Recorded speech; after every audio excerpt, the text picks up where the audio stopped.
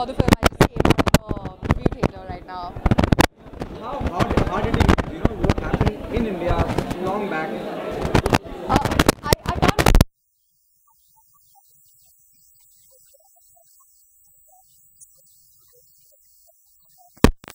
I mean, I mean, I think uh, this film and this subject is amazing to bring light upon such a subject and tell people that you know we need to really still get rid of the I mean, this was the level we were at, but we still have to work on it now also and get above it and come to equality in classes.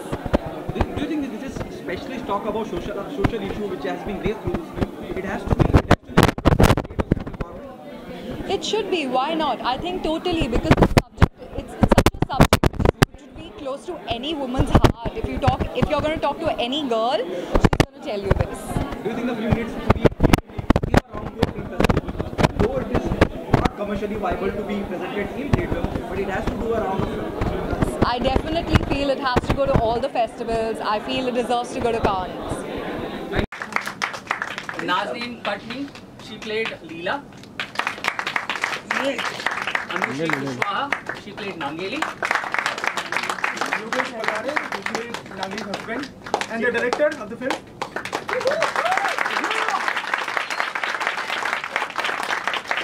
And if you like the film, please like, share it on Facebook. We have a page called Breast Tax. Please share it, comment, give your ratings, give your feedback, and thank you so much for coming.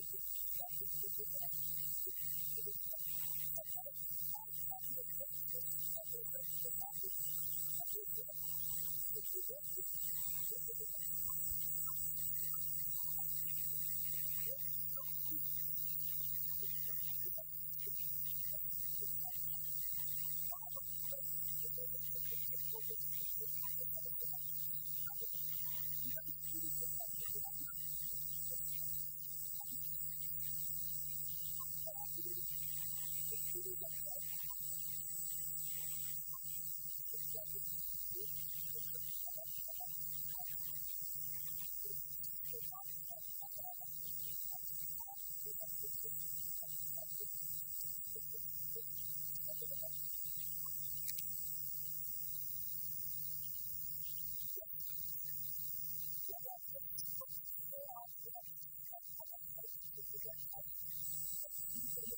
ます。